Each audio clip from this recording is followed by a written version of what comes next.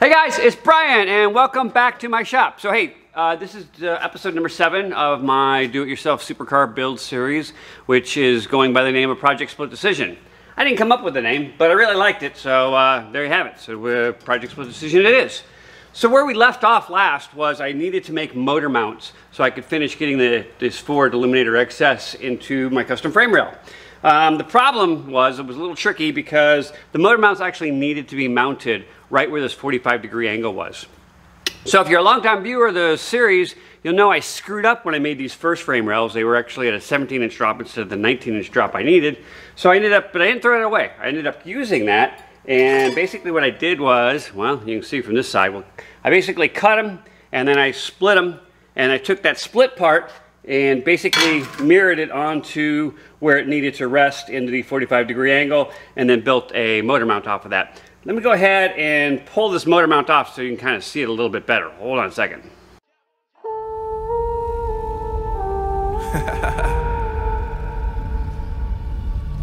Marvin Divine, Jordan.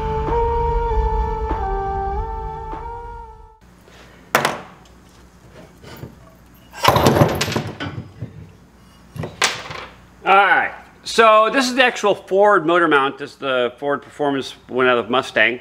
And as I said, here's kind of the motor mount that I kind of came up with. So one side kind of looks more like a traditional mount, kind of squared off, boxed off with the uh, four inch hole. This is a four inch pipe. And then the other one is the frame rail that actually uh, was cut open. So this just kind of drops right in here and uh, really works out pretty nice.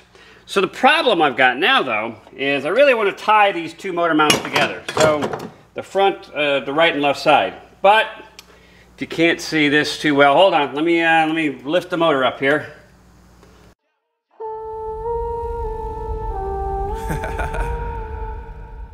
so here's what the problem is. A while ago, I actually, this is the second oil pan I've actually had on this motor. So the first oil pan was mounted in the rear, really a large thing, very low uh, set very low. It held it like 12 quarts. It was from Ford Racing. I opted to put this oil pan in because when you put it in the back here, it hit the it hit these rails right here that used to exist. But I cut those rails out, so I don't have that problem anymore. I really want to be able to tie the motor mount from here to here, but obviously this is going to be in the way. So I'm going to put in oil pan number three. Okay, this is a low profile job. And obviously it's the rear sump versus the sump front that I got on right now. It's gonna allow me to run that pipe, or I'm sorry, run that uh, inch and a half inch pipe across there and allow me to tie those two motor mounts together. The only problem is, while I had that laying around, I actually don't have a pickup tube for it, so I got to order that today. So we're gonna put this motor aside for right now and go ahead and start focusing on the front. Got a plan there. I'm getting rid of all the old C6 uh, frame and build my own frame. And so uh, let's go ahead and get started on that now. So now it's time to fix the front end. It may look like it's attached, but it actually isn't. It is, I cut it off in the last video because I needed a little bit more leg room. So where are we at right now? So we've got the car at 107.7 inches, almost 108 inches. So it's about an inch longer than the uh, C8 Corvette and a little bit longer than a Lamborghini Aventador as well. The um, what I originally wanted to do was try to salvage the C6 uh, front cradle here, or the front clip, but it's really pretty ugly. And I'm also not going to be able to use these, uh, these shock positions anyway because I want to run a cantilever suspension. So I'd have to cut all this out as well. So with that in mind, um, I think I'm just going to go ahead and completely rebuild the front. And to do that, I'll kind of give you some, uh, some highlights here. So the solution I've come up with is I'm going to use these uh, half inch plates and they have actually been cut at a specific angle to mimic the angle of the position that Corvette came up with. Uh, it's actually square on the bottom. It's going to be come across here like this uh, and I'm going to weld that to a 2x4. This edge here actually needs to sit uh, basically flat or level with the outside here. So the, uh, what makes the most sense is going to be using a, a 2x4 right there. Um, that will actually made up to a three by two, or three by three rather.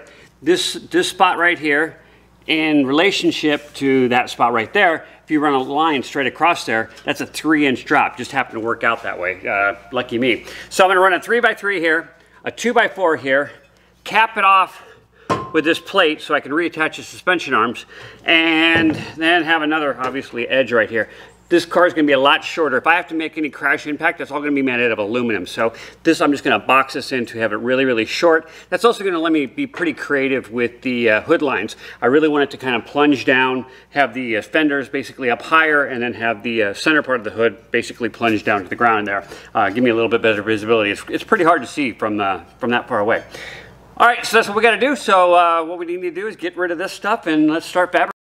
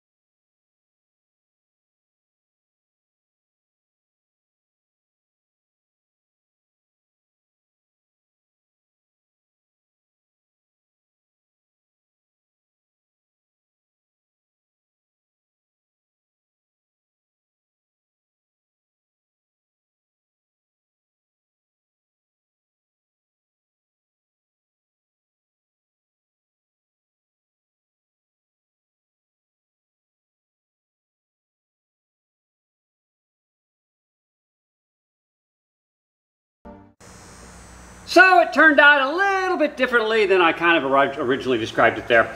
Um, what I ended up doing is running a 2x4. I originally thought I wasn't going to have enough clearance, uh, but actually I have enough clearance without even pocketing this. So um, that allowed for uh, a little bit more meat to be able to weld to, so to have an overlap there. So instead of having the one inch overlap, I've got a two inch overlap. Um, then I've got obviously the 3x2 and a little cap here. And then in the very front is um, a, three, a 3 by 2 as well. Then start looking at the actual rest of the chassis part. So this is actually a 2 by 4 And let me just go ahead and turn this a little bit.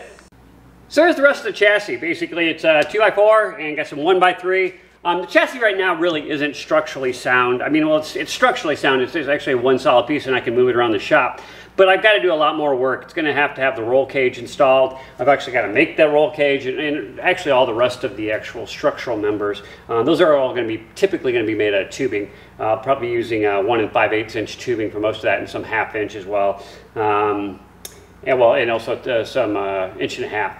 So anyway, so this is uh, basically where we stand right now. It's probably a good spot for me to go ahead and wrap up this episode. And uh, let's go ahead and take a look at what we got to do next. So next up, I've got to do it all over again. I'm actually not going to bore you with all those details. I'm going to go ahead and take all the parts here I've got, go and make a second frame, and the next video will actually be the installing of the Tesla motor in this frame. So until then, I uh, hope you've enjoyed it. If you have, uh, please consider subscribing and hit the notification bell. And as always, thanks for watching.